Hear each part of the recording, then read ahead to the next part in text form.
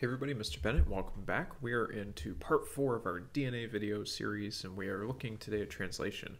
And we are carrying on from the last video, which was transcription. If you remember, we were down here in our nucleus um, and our DNA transcription process happens inside the nucleus because we need to maintain the integrity of the genome so that DNA does not get in and out of the nucleus. And remember, there are pores in the nucleus and those pores are too small to allow the chromosome out, um, but they're just the right size to let the mRNA out out um, of the nucleus.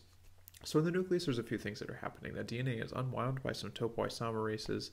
Uh, when we're doing transcription, we're only opening up a very small bubble to transcribe that gene from the genetic sequence into messenger RNA.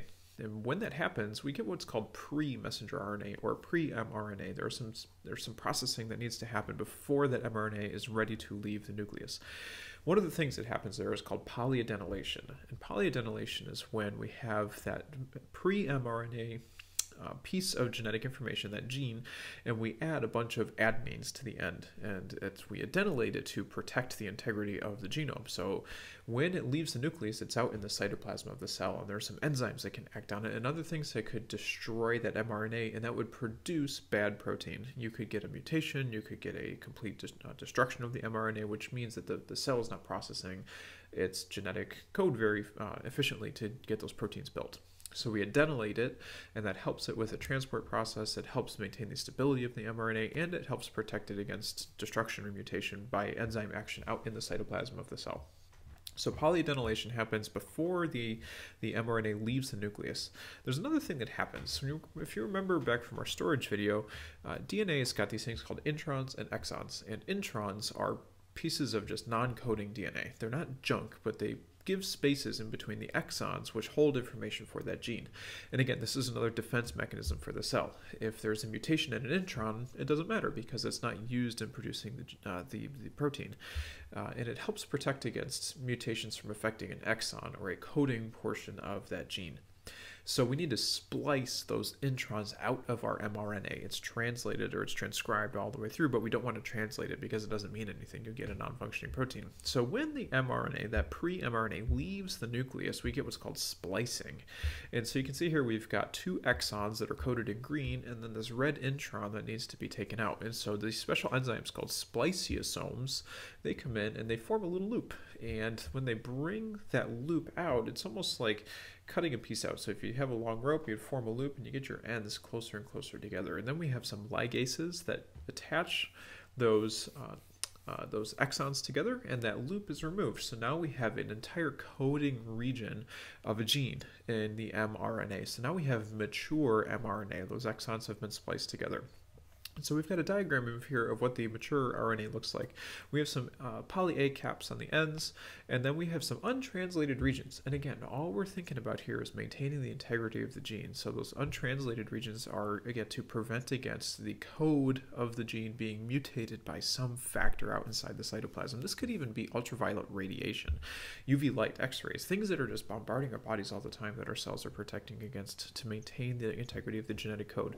So we've got some poly A information and then we've got some untranslated regions, and then right there in the middle, we've got this code, this gene that's been transcribed into mRNA. And now here's where translation happens. We've got the information, and now we're ready to read it, ready to do something.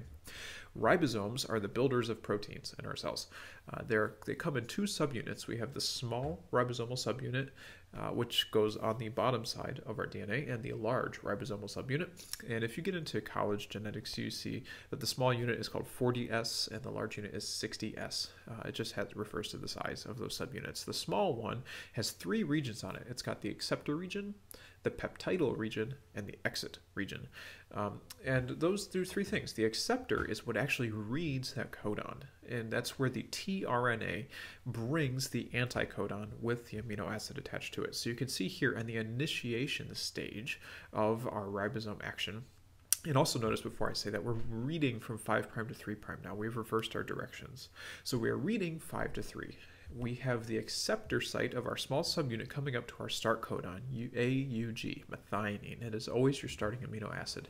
So when we find that AUG, we say we are initiating, and this is where the large ribosomal subunit actually attaches. So I didn't show that, but that small ribosomal subunit moves along the strand on its own. It comes across an AUG, and now we have the large unit coming on, and now we can begin building our protein.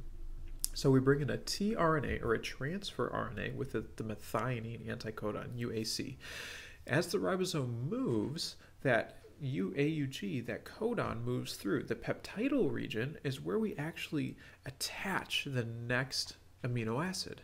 So you can see here, UCA was our next codon. So we have a new transfer RNA bringing in that amino acid, and that's where the peptide bond is formed between those amino acids. Remember, peptide bond is when we have a nitrogen attached um, across um, our amino acid chain, we get that polypeptide. And as we move out into the exit region, the tRNA, now that it's lost its amino acid, it disengages from the large subunit, and we have an open spot for that next RNA subunit, or uh, for that next tRNA unit to move in. So it, it's that constant flow of acceptor, where the bond is formed between the amino acids, and then the exit region. And those three processes on the tail or on the mRNA strand are called initiation, when we find that start codon. Elongation is anything in the middle where we're adding amino acids to our polypeptide chain. And then termination is when we reach a stop codon. Where there's no amino acid added, the tail is released as it moves through the exit region, and then the ribosomal subunits fall apart. And then our mRNA is actually recycled. It's dismantled, and those bases, those nucleosides, are rephosphorylated so they get a new phosphate tail and then they're brought back around to be used again as we produce another mRNA strand to produce another protein. So this machinery is happening all the time. So main things for this one, remember we've got some splicing. Those are called spliceosomes. Um, we also added the poly A tail to maintain the integrity of our gene. Ribosomes have two subunits, the small subunit on the bottom and the large subunit on top. Within those subunits, there's the acceptor region, which is reading the, the codon, the peptidyl region, the middle region where the peptide bonds are forming between two amino acids, and then the exit region where we drop off that tRNA. Um, and the three processes along that mRNA strand, we have initiation where we find the start codon, elongation is anything in between where we're adding amino acids to our chain, and termination is when we reach a stop codon and everything falls off that mRNA before it's recycled.